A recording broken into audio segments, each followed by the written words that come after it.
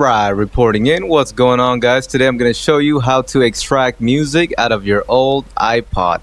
Really simple, quick and easy.